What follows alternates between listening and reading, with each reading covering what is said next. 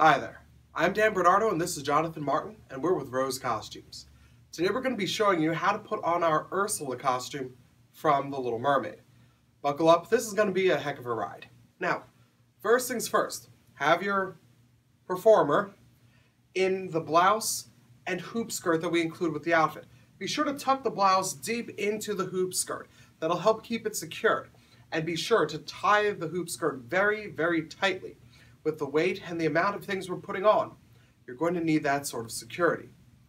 Next things, we've got this. A watery blue overskirt. Let me pull this up. Have the performer dive right in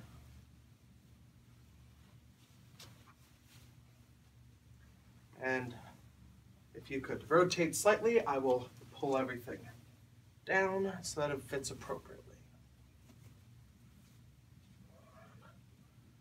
That looks pretty good. Let me get this edge. There. It'll cover over the hoop skirt, give you a watery look to it. Next thing we have is a pair of black panniers with seaweed fabric attached to it. this number right here. to that side.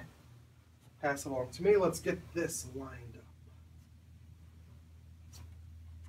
And just like the hoop skirt, it's important to tie this securely.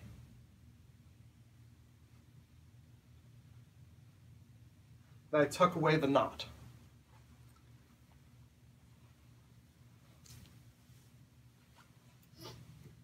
Now the part that's most fun, the tentacles. I do them suction cup side down so that as you move and manipulate with them, you can have them revealed. Grab the side there. Good, good.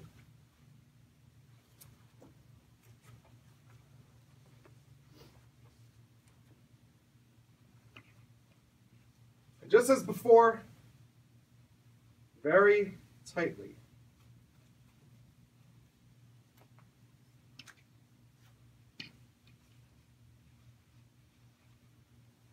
Try to have them evenly spaced, but of course as the performer dances and moves, they will move too. After that, we have an overskirt of seaweed. On that, we have a pair of little ribbons.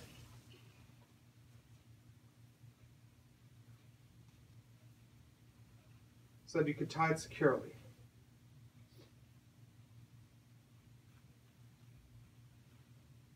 I find that the color helps break up the dark shade of the panniers and the tentacles.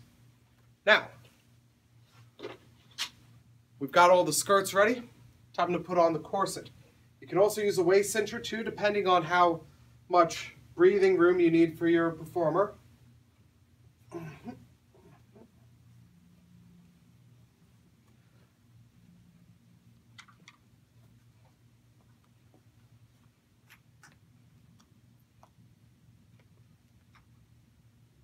As a general tip, make sure the corset is laced, unlaced completely, and that you start with the center prongs there. It'll help getting that secured. We'll also be doing a video for corsets, which you can refer to as well. But depending on how brave your performer, we can really cinch this in and give it a good, nice lacing. Or something a little more breathable. This will do for this demonstration. There we are. Next piece.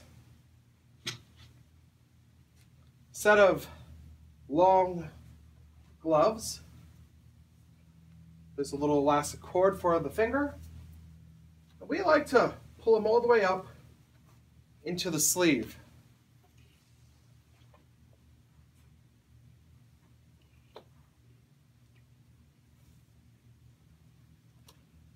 And again, more seaweed to drape around the arms. There we are. Finally, you already see Jonathan's hair is tied back. We have a special wig. Wig headpiece combination. To give Ursula that distinct wild hair. Just slip it right on top. Oftentimes we have points in there where you can bobby pin it, get it more secure to the head, and then you can spray color the remaining hairline. Let's get this to better match with the gray and purple look. A bit of a spin. Yes. One last time. There we are. With that, the illusion is complete. Once again, I'm Dan Bernardo. This is Jonathan Martin. Thank you for watching our video.